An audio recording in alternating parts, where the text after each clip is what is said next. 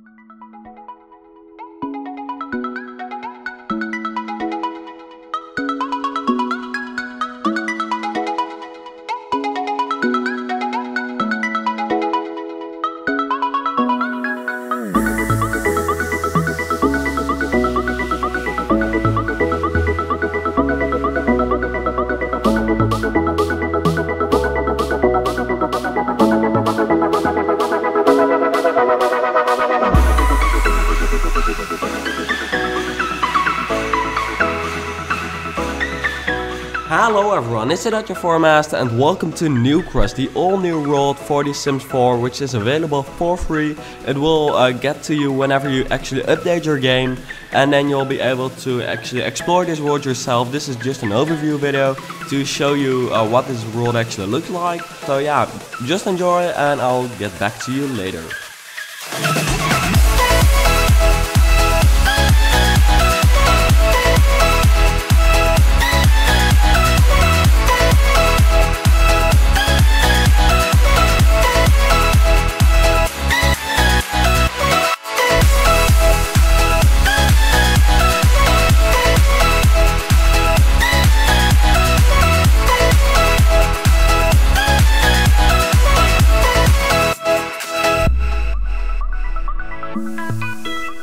Alrighty, so I hope you just got kind of a good overview of what the world of Newcrest actually looks like and feels like. Uh, as you can notice, it's kind of like Willow Creek here. I'm actually in-game to show you uh, some, yeah, footage of what it would look like uh, when you actually have Newcrest in-game. Remember that it's actually free uh, when you update The Sims 4, so, um, you know, no problem. You don't even have to buy it, don't have to install it, you only have to update your game, which is something you will have to do anyways.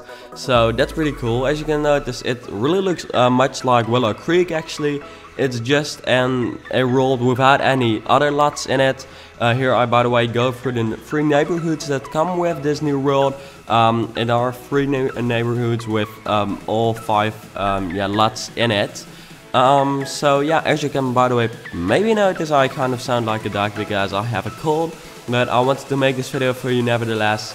Um, so yeah, if I sound a little bit different than I normally do, then that's the reason. And actually with this update there's something cool I would like to show you as well and that's actually this tool which you see me using at the moment which actually lets you kind of form or shape uh, like a room um, without actually having to stop between the walls here I kind of have a comparison between the two tools the one we regularly uh, the one uh, we used to have and the new one actually that's what I wanted to say but anyways, um, yeah, we're pretty close to the end of this overview already. I hope you kind of got a good impression of what this world looks like.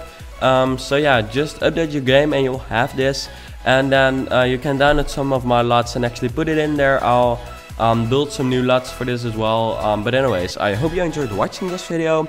Uh, please let me know what your impression is on Newcrest and what kind of world you would like to see the Sims team build next. But anyways, until then, thanks for watching and I hope to see you back later.